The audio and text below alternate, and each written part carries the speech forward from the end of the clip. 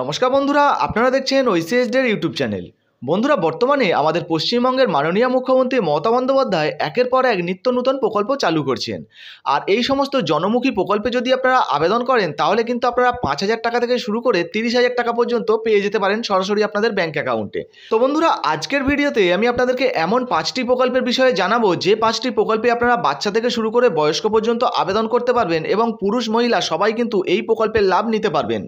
তো বন্ধুরা, আপনারা যদি এই প্রকল্পে আবেদন করতে চান, সেক্ষেত্রে কিন্তু বর্তমানে আপনারা বিডিও অফিস বা এসডিও অফিস বা পঞ্চায়েত অফিস থেকে আবেদন করতে পারেন, অথবা পরবর্তী যে দুয়ারে সরকারের ক্যাম্প হবে, তাতেও কিন্তু আপনারা এই প্রকল্পের জন্য আবেদন করতে পারবেন। তো বন্ধুরা, এই পাঁচটি প্রকল্পের কোন প্রকল্পে কি কি সুবিধা পাওয়া যাবে, কীভাবে আবেদন করতে হবে, কি কি কাগজপত্র লাগবে, সমস্ত কিছু আজকের ভিডিওতে আমি আপনাদেরকে জানিয়ে দেবো।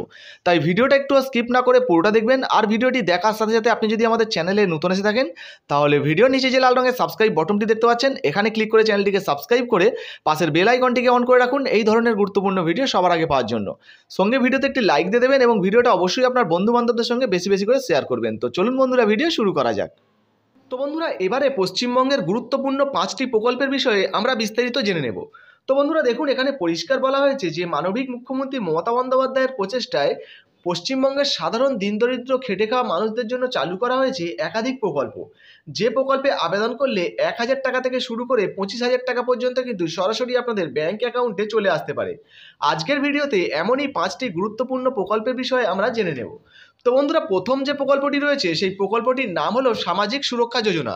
হ্যাঁ বন্ধুরা, বিনামূল্যে সামাজিক সুরক্ষা যোজনা। এই যোজনাতে যদি আপনারা আবেদন করেন, সর্বপ্রথম আপনারা কী কী সুবিধা পাবেন সেটা আমি আপনাদেরকে জানিয়ে দিচ্ছি। দেখুন বন্ধুরা, এখানে কিন্তু পরিষ্কার জানানো হয়েছে, যদি আপনাদের বাড়িতে কেউ একাদশ শ্রেণীতে পড়াশোনা করে, তাহলে কিন্তু তাকে চার হাজার টাকা দেওয়া হবে। সেই সঙ্গে দ্বাদশ শ্রেণীতে পড়াশোনা করলে পাঁচ হাজার টাকা দেওয়া হবে। আইটিআইতে পড়াশোনা করলে ছ হাজার টাকা। সেই সঙ্গে কলা, বিজ্ঞান, বাণিজ্য নিয়ে পড়াশোনা করলে দশ হাজার টাকা পাওয়া যায়। স্নাতক স্তরে পড়াশোনা করলে ছ হাজার টাকা পাওয়া যায়, পলিটেকনিকে পড়াশোনা করলে দশ হাজার টাকা পাওয়া যায়। সেই সঙ্গে ডাক্তারি বা ইঞ্জিনিয়ারিং নিয়ে পড়াশোনা করলে কিন্তু তিরিশ হাজার টাকা সরাসরি ব্যাঙ্ক অ্যাকাউন্টে দেওয়া হয়। তারই সঙ্গে বাড়িতে যদি দুটো কন্যা সন্তান থেকে থাকে, তাদের জন্য পঁচিশ হাজার টাকা দেওয়া হয়। এবারে বন্ধুদেরকে জানিয়ে দিই যে আবেদনের শর্ত কী কী রয়েছে? দেখুন, এখানে পরিষ্কার জানানো হয়েছে যে, আবেদনকারীকে অবশ্যই পশ্চিমবঙ্গের বাসিন্দা হতে হবে।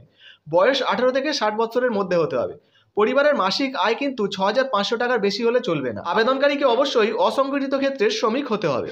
তারপরে বন্ধুরা আমরা দেখে নেব যে কোথায় আবেদন করা যাবে। তো বন্ধুরা, এই সমস্ত প্রকল্পগুলির আবেদনের জন্য আপনারা বর্তমানে যে সমস্ত দুয়ারে সরকারের ক্যাম্পগুলি হয়, তাতে কিন্তু আবেদন করতে পারেন এবং পরবর্তীতে যদি আপনি আবেদন করতে চান, সেক্ষেত্রে কিন্তু আপনি আপনার বিডিও অফিস বা পঞ্চায়েত অফিস থেকে কিন্তু সরাসরি আবেদন করতে পারেন।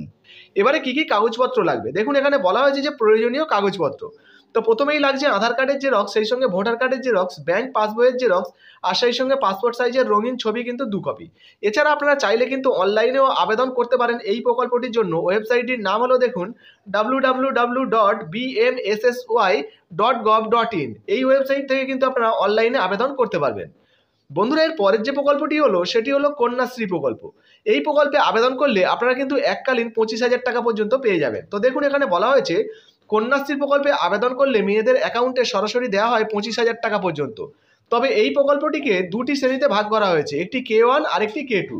তো দেখুন, এখানে প্রথমেই বলা হয়েছে কে ওয়ান প্রকল্প। এখানে বলা হয়েছে যে সরকার স্বীকৃত নিয়মিত শিক্ষা প্রতিষ্ঠানে অষ্টম শ্রেণি বা তার ঊর্ধ্বে পাঠরত। এবং তেরো থেকে আঠেরো বছরের মধ্যে থাকা অবিবাহিত মেয়েদের বার্ষিক এক হাজার টাকা করে দেওয়া হয়। পরে বলা হয়েছে, দেখুন, কে টু। এখানে বলা হয়েছে যে, উপরোক্ত প্রতিষ্ঠানে পাঠরতা এবং আবেদন করার সময় বয়স আঠেরো বছরের বেশি এবং উনিশ বছরের কম হলে যে সমস্ত মেয়েদের বিয়ে হয়নি, তারা কিন্তু এককালীন পঁচিশ হাজার টাকা সরাসরি তাদের ব্যাংক অ্যাকাউন্টে পেয়ে যাবে। তো দেখতে পাচ্ছেন বন্ধুরা, আপনারা কিন্তু পেয়ে যাবেন এই টাকাটা। এবারে আপনাদেরকে জানিয়ে দিই, প্রয়োজনীয় কাগজপত্র কী কী লাগবে।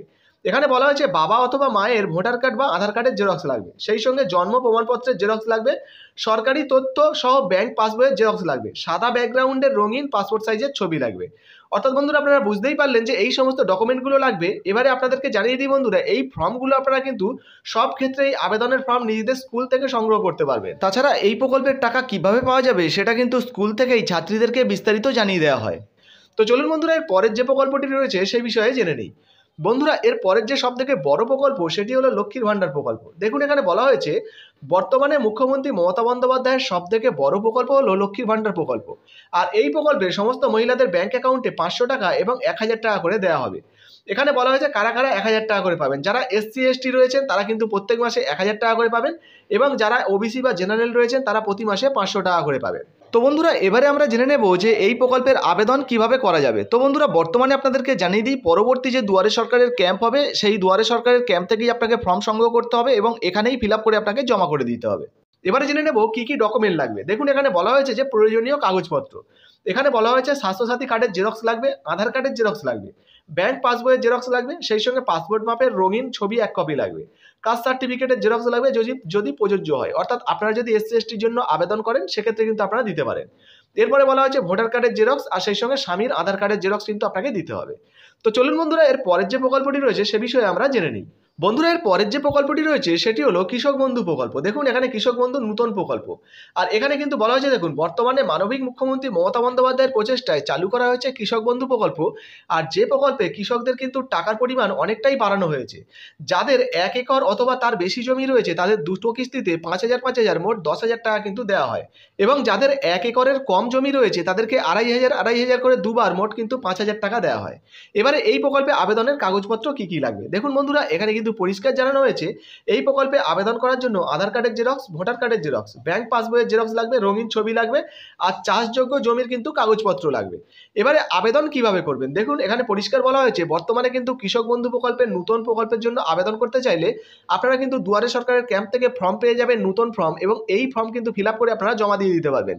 এক্ষেত্রে আপনাদেরকে জানিয়ে দিই বন্ধুরা, ফর্ম ফিল পদ্ধতি কিন্তু আমরা আগের ভিডিওতে দেখিয়েছি লিঙ্ক ডেসক্রিপশন বক্সে দিয়ে রেখেছি, আপনারা চাইলে কিন্তু দেখেও নিতে পারেন। বন্ধুরা, এর পরের যে প্রকল্পটি রয়েছে, সেটি হলো রূপশ্রী প্রকল্প। হ্যাঁ বন্ধুরা, এই রূপশ্রী প্রকল্পে যদি আপনারা আবেদন করেন, এক্ষেত্রেও কিন্তু আপনাদেরকে পঁচিশ হাজার টাকা সরাসরি আপনাদের ব্যাংক অ্যাকাউন্টে দেওয়া হবে। দেখুন, এখানে বলা হয়েছে, পশ্চিমবঙ্গে বসবাসকারী যে সমস্ত পরিবারের বাৎসরিক আয় এক লক্ষ পঞ্চাশ হাজার টাকার নিচে, তাদের বাড়িতে যদি কন্যা সন্তান থাকে, তাদের বিয়ের জন্য কিন্তু এককালীন পঁচিশ হাজার টাকা দেওয়া হয়। এবারে আবেদনের কি কি শর্ত রয়েছে? দেখুন, এখানে বলা হয়েছে যে, পশ্চিমবঙ্গে স্থায়ী বাসিন্দা হতে হবে অথবা বিগত পাঁচ বছর ধরে পশ্চিমবঙ্গে বাস করতে হবে। বয়স অবশ্যই আঠেরো বছরের ঊর্ধ্বে হতে হবে অর্থাৎ আঠেরো বছরের বেশি হতে হবে। পাত্রের বয়স অর্থাৎ যার সঙ্গে বিয়ে হচ্ছে, তার বয়স অন্তত একুশ বছর হতে হবে। যিনি আবেদন করবেন, তাদের পারিবারিক আয় দেড় লক্ষ টাকার নিচে হতে হবে, তাহলেই আবেদন করতে পারবেন এবং তার সঙ্গে অবশ্যই কিন্তু তার নিজের নামে একটা ব্যাংক অ্যাকাউন্ট থাকতে হবে। এবারে জেনে নেব, এই প্রকল্পের আবেদন আপনারা কীভাবে করবেন? বন্ধুরা, বর্তমানে আপনারা যদি এই প্রকল্পের আবেদন করতে চান, তাহলে আপনার নিজস্ব যে বিডিও অফিস রয়েছে, সেই বিডিও অফিস থেকে আপনারা আবেদন করতে পারেন, অথবা পরবর্তী সময়ে যে দুয়ারে সরকারের ক্যাম্প হবে, সেখান থেকেও কিন্তু আপনারা চাইলে এই প্রকল্পের আবেদন করতে পারেন। তো চলুন বন্ধুরা এর পরেও অতিরিক্ত ছয় নম্বরে একটা প্রকল্প রয়েছে, এই প্রকল্পের বিষয়ে আপনাদেরকে জানিয়ে দিই।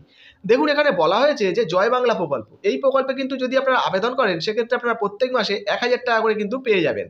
তাছাড়া বন্ধুরা, এই প্রকল্পটাকে তিনটে শ্রেণীতে ভাগ করা হয়েছে। এক হলো তপশিলি বন্ধু প্রকল্প, যেখানে কিন্তু এক হাজার টাকা করে প্রত্যেক মাসে পাওয়া যাবে আর এটা কিন্তু এসসিরা আবেদন করতে পারবেন। তারপরে বলা হয়েছে জয় জোহর প্রকল্প, এটাও এক হাজার টাকা করে পাওয়া যাবে আর এখানে কিন্তু এসটিরা আবেদন করতে পারবেন। আর তারপরে রয়েছে মানবিক প্রকল্প, এখানেও এক হাজার টাকা করে পাওয়া যায়, তবে এটা কিন্তু প্রতিবন্ধীদের জন্য। তো চলুন বন্ধুরা, এই প্রকল্পে আবেদনের জন্য কী কী কাগজপত্র লাগবে সেটা আমরা জেনে নিই।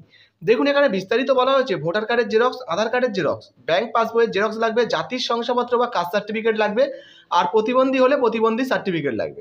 যোগাযোগ কোথায় করবেন? বন্ধুরা, এই প্রকল্পে আবেদন করার জন্য আপনি কিন্তু আপনার নিকটবর্তী যে পঞ্চায়েত অফিস রয়েছে, সেখান থেকেই ফর্ম সংগ্রহ করে আপনারা ফর্ম ফিল করে এখানেই জমা করতে পারবেন এই সমস্ত কাগজপত্র দিয়ে। তাছাড়াও পরবর্তী সময় যে দুয়ারে সরকারের ক্যাম্প হবে, এখানেও কিন্তু আপনারা ফর্ম সংগ্রহ করে, ফর্ম ফিল করে জমা করতে পারবেন এই প্রকল্পের আবেদনের জন্য। মনে রাখবেন, এই প্রকল্পে আবেদনের জন্য আপনার বয়স অবশ্যই ষাট বছরের ঊর্ধ্বে হতে হবে। তো বন্ধুরা, এই ছিল মুখ্যমন্ত্রীর মোট পাঁচটি প্রকল্প। তো এই পাঁচটি প্রকল্পের মধ্যে কোন প্রকল্পটা আপনার সবথেকে বেশি ভালো লেগেছে? বা কোন প্রকল্পে আপনি আবেদন করেছেন বা করতে চাইছেন, অবশ্যই নিচের কমেন্ট বক্সে কমেন্ট করে জানাবেন। ভিডিও ভালো লাগলে ভিডিওতে একটি লাইক দিয়ে দেবেন এবং ভিডিওটা অবশ্যই আপনার বন্ধু বান্ধবদের সঙ্গে ফেসবুকে হোয়াটসঅ্যাপে বেশি বেশি করে শেয়ার করবেন। ধন্যবাদ।